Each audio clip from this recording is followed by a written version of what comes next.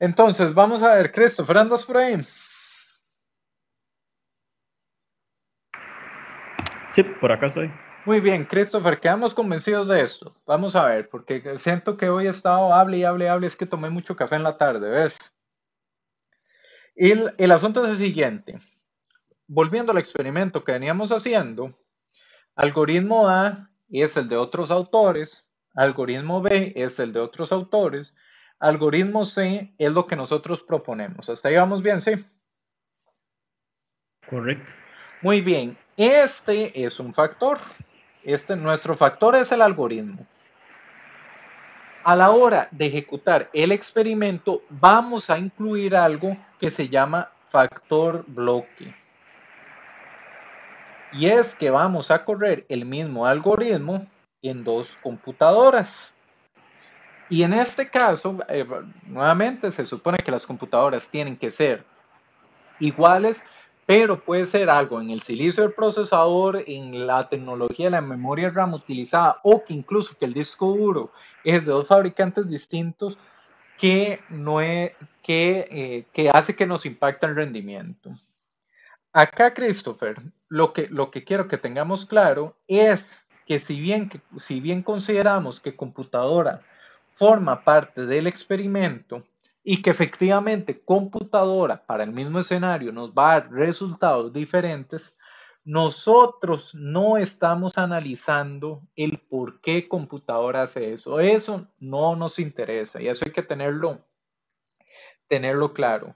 Nosotros estamos incluyendo el factor computadora al experimento para llegar a, a, una conclusión, a una conclusión estadística. Entonces, la pregunta es, Christopher, ¿me explico? Sí, o sea, al final, digamos que es, el, el, es una variante, pero está aislada del, del objetivo del, del, experimento. Es correcto. Eh, la utilizamos para obtener resultados más robustos pero no nos interesa qué hay detrás. Lo que sabemos es que nos impacta el tiempo, el tiempo de respuesta. Muchas gracias. Profe, eso, es, eso digamos que fortalece la, la, la aleatoriedad del, del, del, experimento. El hecho de que yo tenga dos computadoras o no, porque hey, justamente estamos diciendo que, que no son eh, un factor de incidencia directa. De hecho, para diseñarlo bien, bien, bien, bien, bien, vos deberías correr todos los escenarios por la lotería. Tiene que ser aleatorio. Entonces, por ejemplo, que la lotería te tira algoritmo A, corre primero en computadora 2, algoritmo B, corre de segundo en computadora 1, algoritmo C, corre en computadora 1 y luego C en computadora 2. La aleatorización tiene que mantenerse. Ok, ok. Muy bien, muchas gracias, Christopher. Entonces, nuevamente, datos están en el TEC digital, ya lo subí. Y la gracia es que ya ustedes tengan el código de cómo hacer un análisis con diseño de bloques para cuando lo vayan a requerir. Datos en el TEC digital.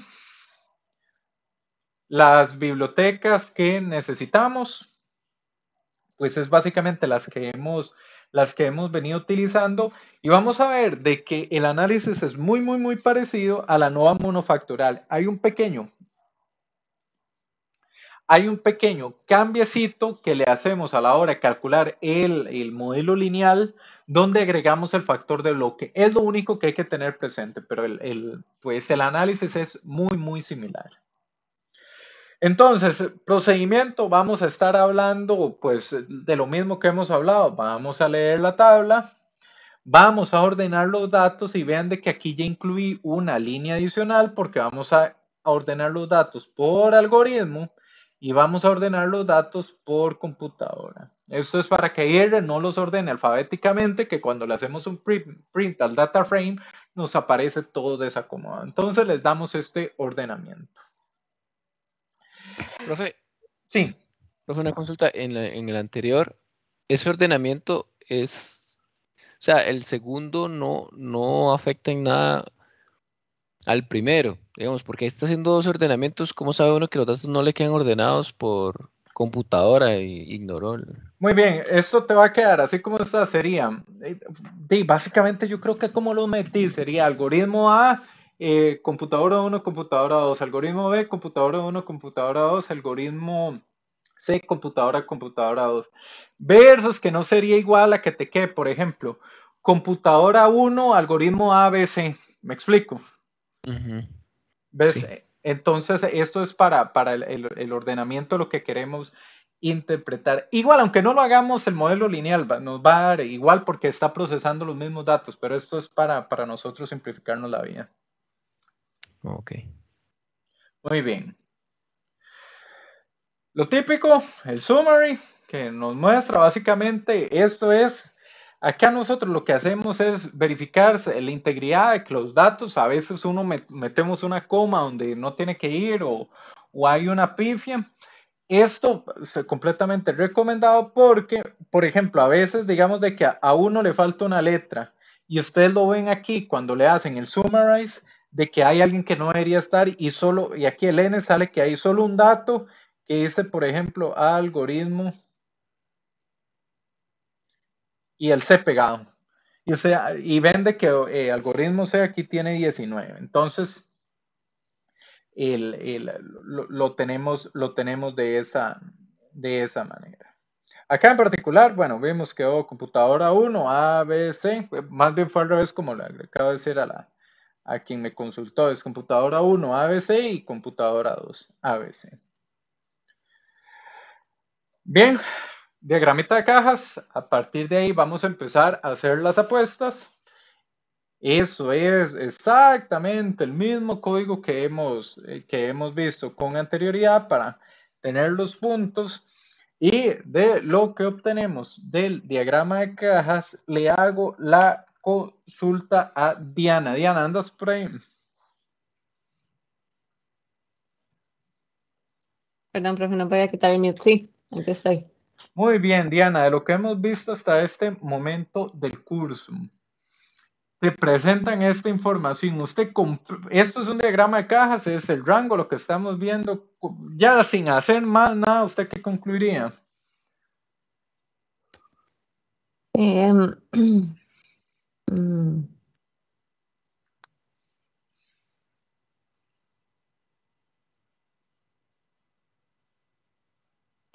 Sí, sí, si tienen valores menores es, mejor, ¿verdad? O sea, lo que estamos buscando es un algoritmo que tenga menor tiempo. Es. Sí, muy bien. Entonces, los promedios son diferentes, eso es verdad. Ahora la pregunta que te hago es, ¿son estadísticamente diferentes? No. No. No, no. estamos viendo lo mismo. Muchísimas gracias, Diani. No, efectivamente no, no, no son estadísticamente diferentes.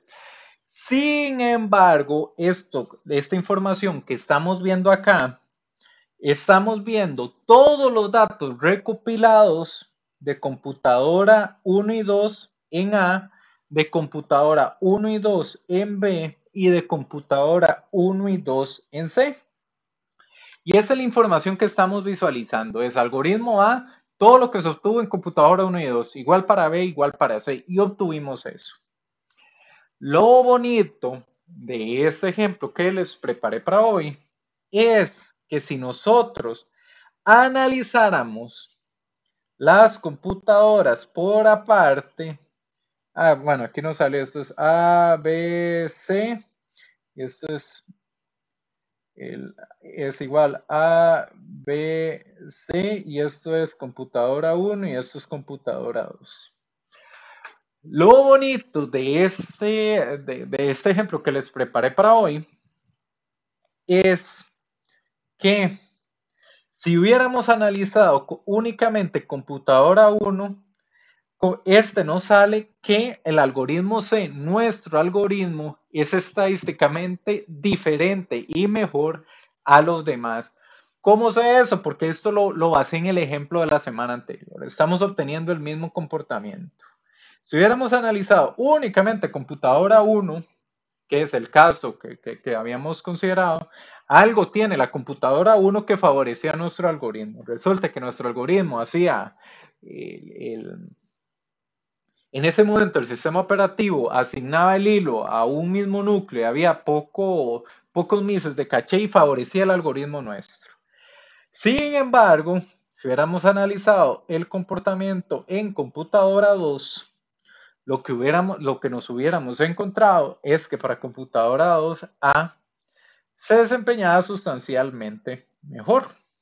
Y eso lo chiva al factor bloque. El factor bloque nos permite ecualizar eso, considerar computadora 1 y computadora 2, aunque no es nuestro objeto de estudio, no es lo que estamos analizando, nos permite considerar eso, ecualizarlo y llegar a resultados, a, resultados más robustos. Vean de que si solo hubiéramos hecho el análisis en computadora 1, nos encontramos que había una diferencia donde realmente no, no, no la había.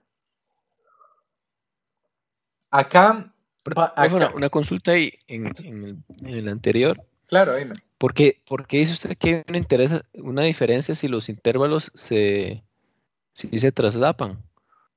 Muy bien. Acá la diferencia solo la podíamos encontrar a través de la NOA y a la NOA no se va a dar en el puro, en el puro, en el puro, en el puro límite, porque acordate que realmente donde podemos llegar a un resultado más fuerte es con intervalos de confianza.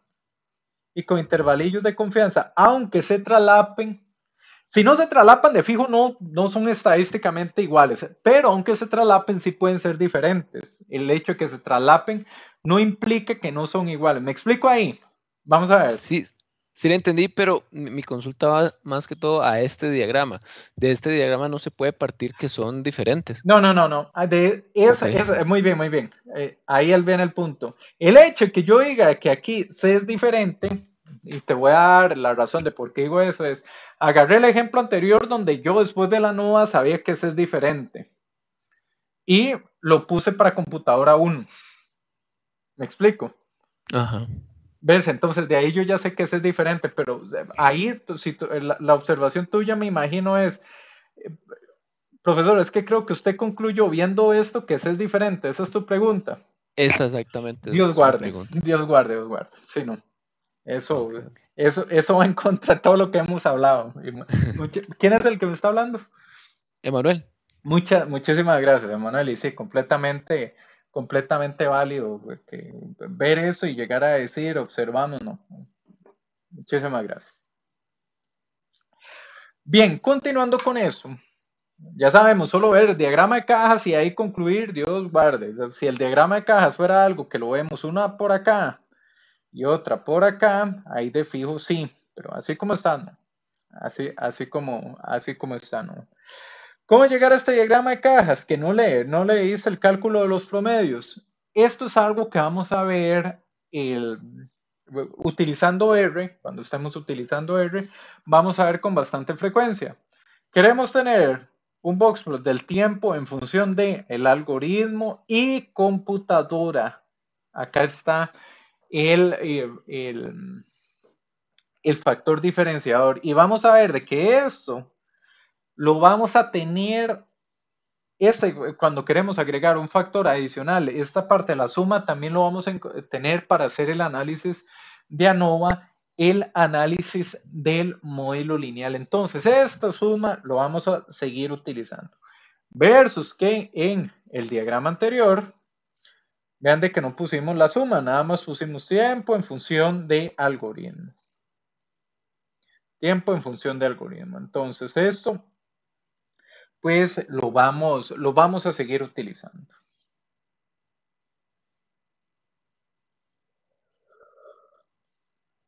Entonces, acá gráfico de promedios e intervalos de confianza, que esto sí nos da mayor información, nos, nos da mayor información de cómo se comporta. Tenemos que tener claro, si, por ejemplo, una pregunta que nos dicen es, ¿los promedios son diferentes? Nosotros vemos y sí, los promedios son efectivamente diferentes. Eso es diferente a decir, los promedios son estadísticamente diferentes. Hasta este momento no sabemos, pero el punto es de que viendo esto no lo podemos concluir. No podemos concluir si los promedios son estadísticamente diferentes. vean que para el gráfico intervalos y promedios, similar a lo que hemos visto la vez anterior. Tiempo en función de algoritmo. Tiempo en función de algoritmo. Y bueno, tenemos los diferentes intervalos de confianza, menor y mayor para algoritmo A, B y C. Y vemos esto y tenemos que graficarlo. Acá. Y básicamente los gráficos de promedios, intervalos de confianza que hemos visto en las ocasiones anteriores, donde X va a ser algoritmo, Y va a ser el promedio. Esto pues, generalmente lo mantenemos estándar y le ponemos el título al gráfico y la unidad. Pero esto es exactamente lo que ya hemos hecho en ocasiones anteriores. Entonces, una vez que ya nos encargamos de hacerle copy-paste a esto, cuidando de que no hayamos cometido ningún error, una vez que lo realizamos, obtenemos el gráfico de promedios intervalos de confianza. Bien, de acá Cosas que podemos ver, los promedios son diferentes, los promedios son diferentes. Los promedios son estadísticamente diferentes, algo que tenemos que analizar. Por ejemplo, uno llegaría a decir, bueno, digamos de que queremos comparar B con C, porque eh, C y A se parecen más. C, C y A se parecen más. B con C, entonces, en intervalos de confianza, si no se traslapan, de fijo son diferentes, pero aunque se traslapen, podrían ser diferentes. Acá uno dice, yo no, yo no tomaría una apuesta, yo haría análisis para por lo menos concluir si C es mejor que B. Con respecto a la misma, el mismo asunto, mismo asunto. Pero por dicha, tenemos la herramienta DR que nos va a permitir llegar a la conclusión. Entonces, antes de llegar a la conclusión y hacer el modelo lineal y todo el asunto, vamos a hacer el mismo gráfico de promedios e intervalos de confianza, pero ahora considerando el factor bloque. Esto es el factor bloque. Y vean de que nuevamente estamos incorporando uno de los cambios que hacemos en el código para realizar este análisis. ¿Cuál es este cambio que hacemos para realizar este análisis? Es esta parte que vemos acá. Suma y el factor adicional. Vamos a ver en ANOVA multifactorial que esto que esto se mantiene, esta nomenclatura se mantiene. Vamos a ver luego la, la nomenclatura asterisco y la nomenclatura dos puntos. Pero por el momento estamos con la nomenclatura de agregar un factor con suma. Ahora, ¿qué hicimos acá? ¿Qué hicimos con este groupwise mean, eh, mean agregando este factor adicional? Nos calculó los promedios, pero algoritmo A, algoritmo B y algoritmo C por computadora.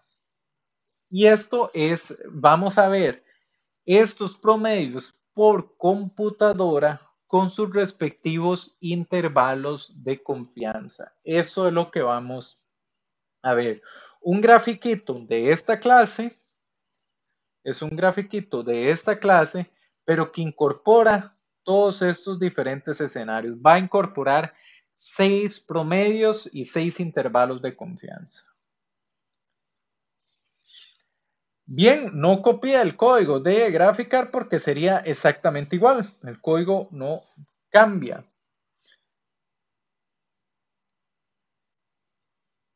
Déjame ver. Entonces, sí. El código no va a cambiar. Una vez que lo grafiquemos, obtenemos esto. Entonces,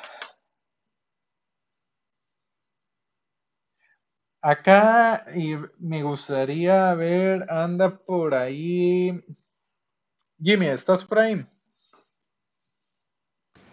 Sí, profe. Muy bien, Jimmy. repasemos conceptos. ¿Es este grupo estadísticamente diferente a este grupo? Sí. Sí. ¿Es este grupo, es este grupo estadísticamente, y acá para que se vea, es de este intervalo de confianza a este intervalo de confianza? Sí, también. También es diferente. Esto es el de la semana pasada. Acá eh, fue Emanuel. ¿Estás por ahí? Sí, profe, aquí estoy. Muy bien. Vos fuiste el que me consultaste que cómo concluí que ese era diferente con respecto al diagrama de cajas. Ajá, ajá. Acá. Si hubiéramos analizado el, el caso de computadora 1, hubiéramos obtenido este con este con este. Y solo viendo esa información, ¿qué decís, Emanuel? Sí, ahí sí puedo decir que sí, sí es diferente. se ven diferentes, aunque si nos devolvemos al diagrama de cajas, eh, yo aquí no haría apuestas. Sí, ahí, ahí, ahí, ahí no lo tenemos claro, pero era una observación completamente válida. Vemos que acá, efectivamente, si ya los identificamos, y aquí yo te estoy diciendo cuál es cuál porque yo sé cuál es cuál. El- acá, de- acá en el gráfico como tal no lo podemos interpretar, pero si solo tuviéramos esta información, sí decimos, sí, se, se es definitivamente diferente. Muchas gracias, Manuel. De acá que vamos a tener claro, entonces, vean qué interesante, vean qué interesante este factor de bloque. Este factor de bloque es tan fuerte que el solo hecho de la computadora para un mismo escenario nos da que para un mismo escenario la diferencia que la computadora incorpora, esa diferencia en el mismo escenario es estadísticamente diferente. Lo cual eso podría invalidar todos los resultados que queremos publicar en el paper. ¿Cómo mitigamos ese resultado? Pues eh, ecualizamos el factor que, que el factor de error que, que influye la computadora en el experimento agregando el factor de bloque. Y esto lo vemos, lo vemos acá. Vemos que para el caso del escenario A y el escenario B, los intervalos de confianza ni se traslapan. En el escenario C es en el que la variación es, es menor y esto lo podemos ver en el diagrama de bloques. Vemos de que C cambia, pero no tan radicalmente como B cambia, pero no tan radicalmente como C aquí y aquí. Entonces tenemos esa, esa información. Nuevamente acá, la información que podemos derivar, por ejemplo, de este, de, este principalmente es, no sabemos, habría que analizar A con C, a ver si acaso. No, más bien A con C de fijo no, a ver, habría que analizar A con B y B con C, a ver si acaso. Y de acá vemos el factor de bloque, la, la diferencia tan marcada que nos, que nos va a generar. Entonces tenemos eso, eso por ahí.